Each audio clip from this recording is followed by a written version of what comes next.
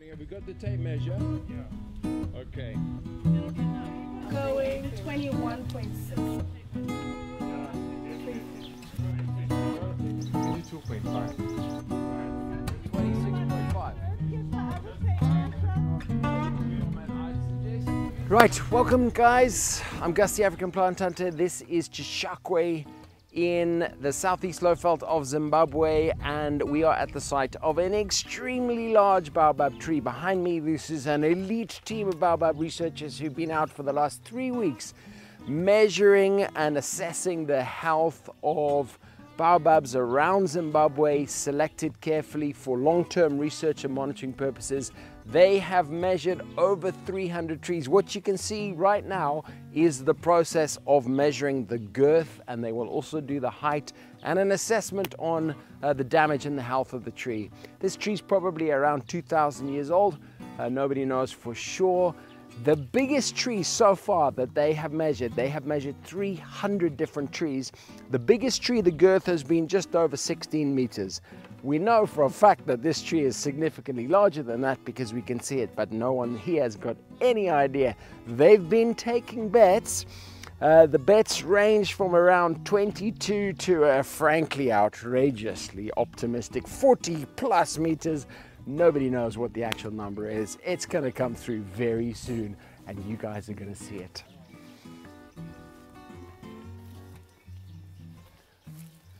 So the tape measure is coming through. One of the uh, challenges with measuring the girth of baobab trees is bees and beehives and there is a beehive in this one.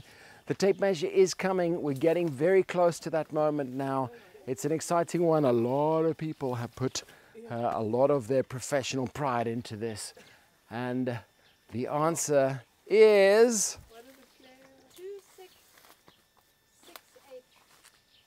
26, 68. There is the closest. 28. Hey!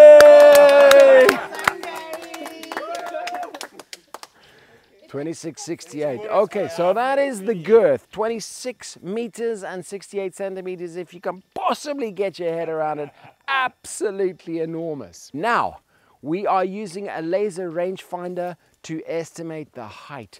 This is uh, the appliance of science. The way a laser rangefinder works is sends a signal from the user to the bottom of the tree to tell the distance between the user and the bottom and then one to the top of the tree, and then through simple trigonometry, it calculates the height. So the guesses for the height range from 21 to 32 meters. The highest tree we've done so far has probably been about 18.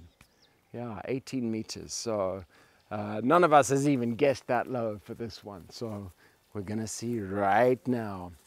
So Gary is the man with the laser rangefinder. We've got a high. What is it? 22.4. 22.4! no, but you were 22.5. Being Zimbabwe, naturally, they all assume the result was rigged. All right, guys, I hope you've enjoyed. That's another quick snippet from the bush. My name is Gus the African Plant Hunter. Plenty more on my YouTube channel and Facebook and Instagram. Just type in African Plant Hunter. Hit that subscribe button and you will be notified every time one of my videos comes out. Lots more work to come from this superstar Baobab research team and I will be updating you next time. All right, take it easy.